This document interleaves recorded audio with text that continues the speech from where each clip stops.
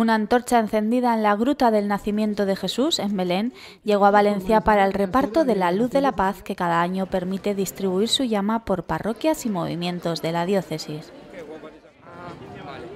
La luz fue trasladada desde la plaza del arzobispado hasta la catedral, donde entró por la puerta de los hierros. Una vez en el templo, centenares de velas fueron encendidas con su llama para distribuir la luz de Belén.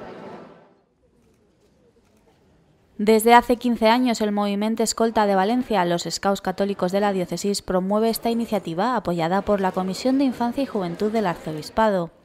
Un acto al que también asistieron representantes de diferentes movimientos juveniles de la diócesis, entre ellos juniors y jóvenes.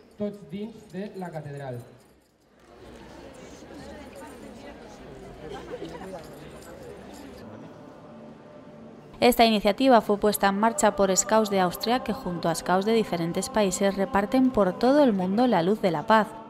Cada año un niño austriaco enciende la llama original en la gruta del nacimiento de Jesús en Belén, desde donde es trasladada a Viena. Una vez allí se realiza una celebración ecuménica a la que acuden delegaciones scouts de distintos países europeos, así como asociaciones y organizaciones sociales con distinta identidad, pero con un mismo fin, acercar el símbolo de la paz a toda la sociedad.